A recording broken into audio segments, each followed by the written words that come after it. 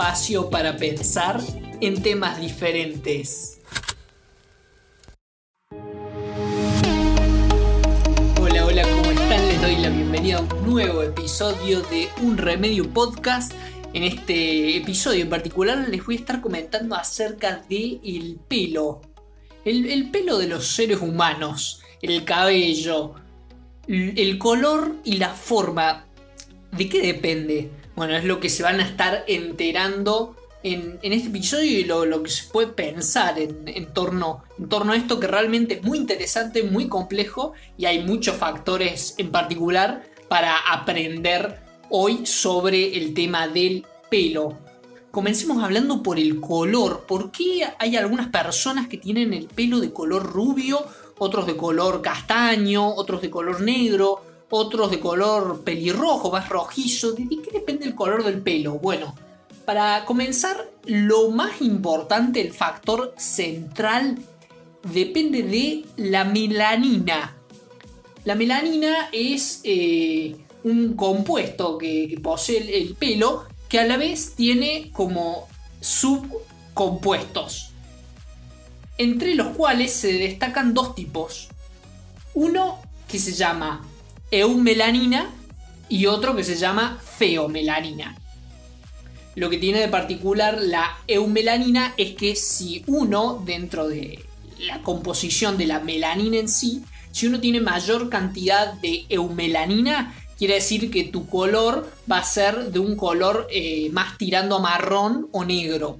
En cambio, si vos tenés mayor cantidad de feomelanina, quiere decir que tu pelo va a tender a ser más bien pelirrojo o rubio. Ahora, lo que sí, ¿de qué depende las canas? Bueno, de no tener ninguno de los dos compuestos. Es decir, cuando uno pierde la, la generación de lo que es la eumelanina o feomelanina, tu pelo se vuelve blanco. Ahí es donde surgen las canas.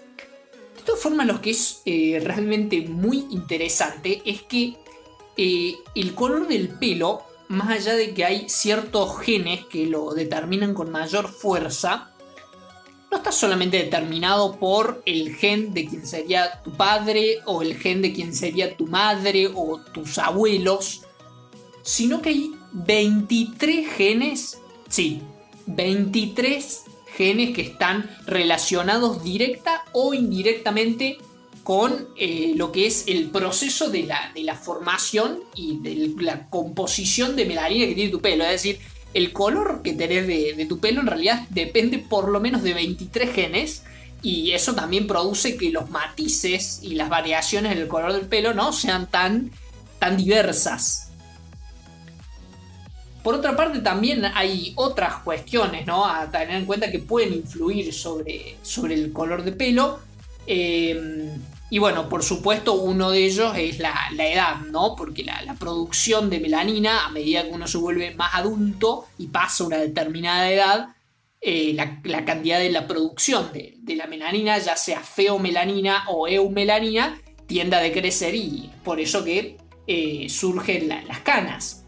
Eh, hay una curiosidad también con respecto al color del pelo, es que, bueno, a muchas personas les sucede que el color de su pelo va variando a lo largo de su vida. Cuando son muy pequeños, tienen el pelo de un color y cuando se vuelven adultos se les cambia el pelo a otro color.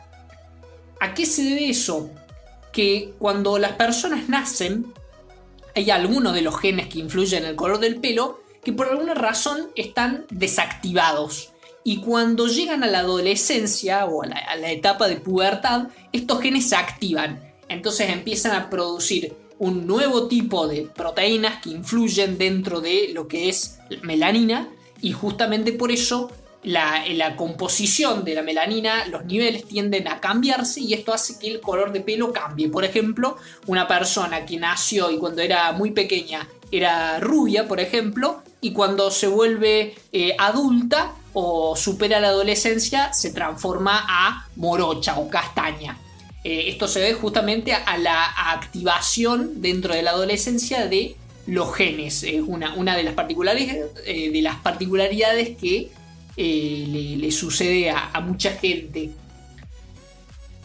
Por otra parte, también hay que decir que el tema del pelo está, bueno, sobre todo, ¿cuál, cuál es el, gen que se podría decir dentro del 23 más responsable de la producción de melanina? Bueno, es un gen que se llama melanocortin 1 receptor, sí, es un nombre bastante extraño, que eh, las siglas son MC1R, que ese sería como el más eh, responsable, el mayor de todos de los genes en determinar el, color de pelo.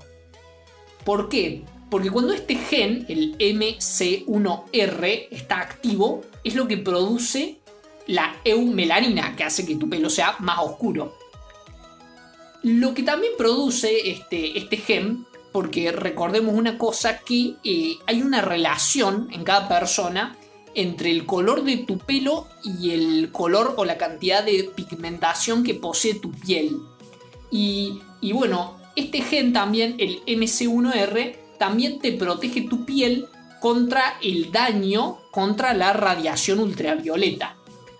Y lo que sucede cuando este gen, que también puede ocurrir que esté en condiciones inactivas, lo, lo que es la, los melanocitos también pueden producir lo que es eh, la feomelanina.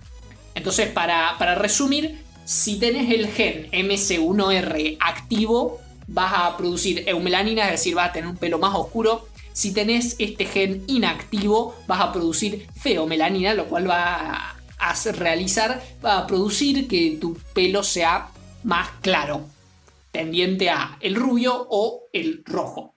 Eh, por supuesto, eh, esto, este gen al estar inactivo, a la piel lo que le produce es que esté más expuesta frente al sol y eh, por supuesto sea más delicada eh, con respecto a la exposición con los rayos ultravioleta. De todas formas, eh, bueno, hay que pasar al tema de la forma del pelo, porque hasta recién hablamos del tema del color, de a qué se debe el color del pelo, también hay que hablar de la forma. ¿De qué depende la forma del pelo? Bueno, la forma del pelo depende básicamente de un gen, pero también de varias otras cuestiones. Pero hay un gen que es importantísimo en determinar la forma del pelo. Este gen se llama TCHH, las siglas. Eh, ¿Y qué es lo que hace este gen TCHH? Genera una proteína que se llama tricohialina que está presente en las células que forman cada folículo. Eh, recordemos que el folículo es como la base de, la raíz del pelo. Entonces, eh, dependiendo de cómo es esta base del pelo, es cómo va a crecer y cómo va a salir hacia, hacia el exterior. Entonces, ¿qué es lo que produce la, la proteína esta que se llama tricohialina? Se relacionan con bueno, justamente los folículos que el tamaño del folículo y, la forma en que este folículo, esta base, se abre hacia afuera es lo que va a determinar dos cosas. Una, la forma final del pelo y la otra, cuán grueso es cada cabello, porque hay personas que tienen el cabello más grueso y otras que lo tienen más fino. Cuando, cuando el pelo crece, lo que hace es ir eh, a través del folículo de esta base y, va subiendo por el interior. Y bueno, por supuesto, depende de cómo sea la forma de este folículo hacia afuera. ¿Por qué? Porque hay alguno, en algunas personas el folículo tiene un borde hacia afuera que es circular, que es eh, absolutamente redondo. Cuando el folículo posee esta forma, el pelo cuando sale hacia afuera es liso. De ahí depende el pelo lacio, personas con un folículo circular. Ahora, las personas que tienen eh, una forma de folículo que es eh, más chata o, más irregular o, de alguna forma que no sea circular, es lo que produce los rulos, los llamados rulos, que son un conjunto de rizos y ondas. Por otro lado, también otra cosa que influencia la, la forma del pelo es la queratina. Porque la queratina también ayuda a que cada individuo, a que cada persona eh, tenga un pelo ya sea liso, rizado o ondulado. Porque la queratina lo que hace en el pelo es formar eh, cadenas que le dan resistencia al cabello.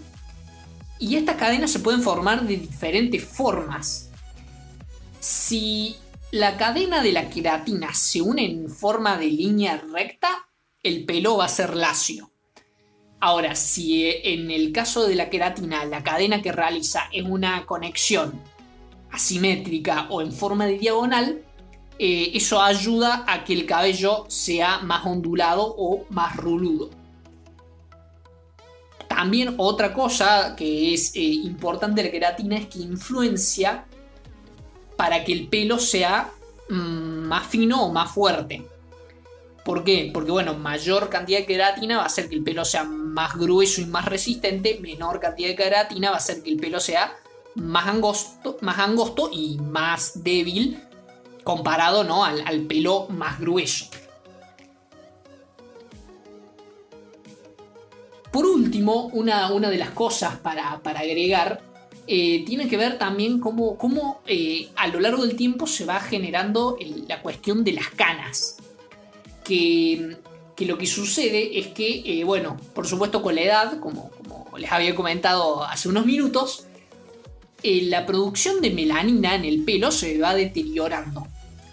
¿Y qué sucede? Los folículos, justamente la base donde se crece y donde nace el pelo, pierden una enzima que, que lo que hace es destruir el peróxido de hidrógeno de las células del pelo. Eh, peróxido de hidrógeno se refiere a agua oxigenada. ¿Qué, es lo que pasa? Eh, el, folículo, la, base del pelo, cuando, cuando uno es eh, joven, al nacer y durante la mayor parte de nuestra vida, lo que hace este folículo es justamente eh, como auto desinfectarse y auto limpiarse para así poder seguir produciendo melanina. Ahora, a medida de que uno crece y se vuelve más adulto, eh, esta, molécula, eh, la, la, grasitud que se genera en el folículo, deja de ser eliminada. Y cuando deja de ser eliminada, lo que va haciendo es tapar el folículo y, impedir que se produzca otra enzima que se llama tirosinasa, que lo que hace esta otra enzima es justamente permitir que se produzca la melanina. Es decir, que a medida que uno va creciendo, eh, lo que ocurre en el folículo es que se empieza a acumular una cierta adiposidad que impide la creación de melanina. Y cuando se impide la creación de melanina, pasamos a tener un cabello que se vuelve blanco. Y, es por ello que se terminan generando las canas.